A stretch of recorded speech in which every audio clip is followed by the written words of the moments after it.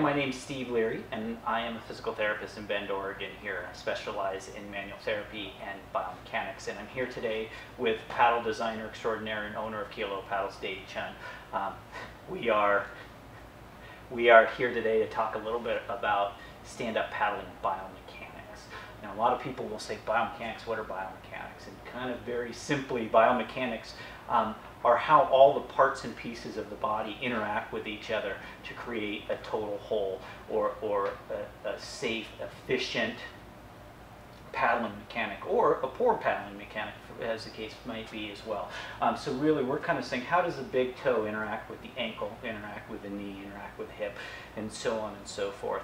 Um, in, in my experience, I typically am dealing with patients who have some sort of injury related to their sports.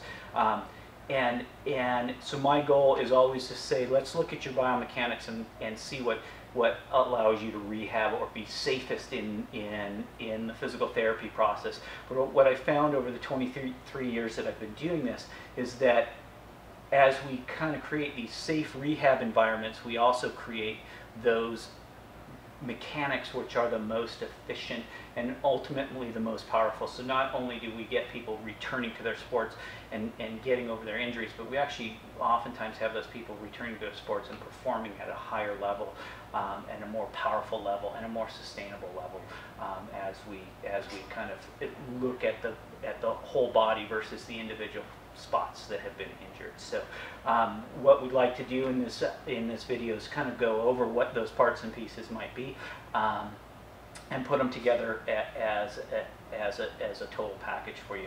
So what we'd like to do in our next video is really talk about what we call the foundation or really looking at what the core and the spine should be doing when we're stand-up paddling. Uh, but before we do that, I thought we might just have Dave step up on the board and just show us just a little bit of paddling mechanics.